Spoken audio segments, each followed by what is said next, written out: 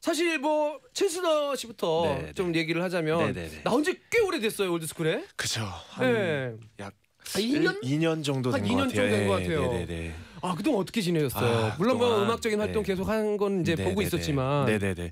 그동안 좀 못했던 뭐 여행도 하고 네. 좀 쉬었어요. 쉬는 휴식 기간을 좀 갖고 그 다음 앨범 작업을 하는 시간을 아. 좀 보냈습니다. 아, 되게 네. 중요한 것 같아.